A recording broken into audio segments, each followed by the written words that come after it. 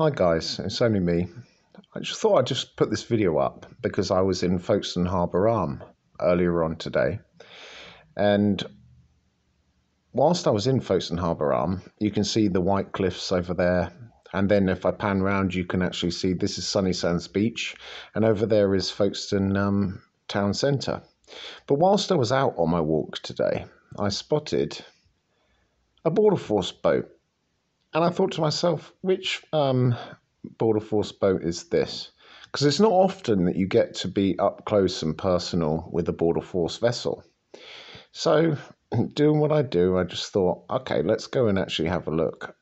And then I thought, okay, this must be Valiant. It must be. I've never actually seen it up close like this before.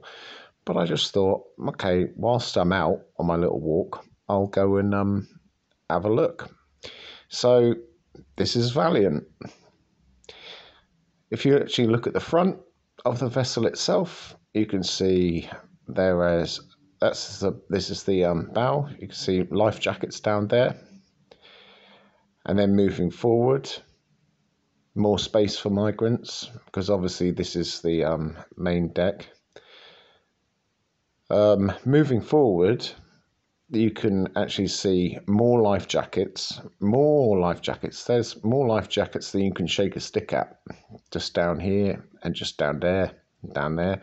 And whenever you see um, Valiant, it basically sits outside of the docks and this is the dinghy which is launched to bring them back in. So you will see a lot of dinghies coming back and forth, well, a lot of, coming back and forth from Valiant, and that's where it is. Usually they have the the name of the vessel at the back. Oh look, it's the actual lighthouse at the end of the harbour arm.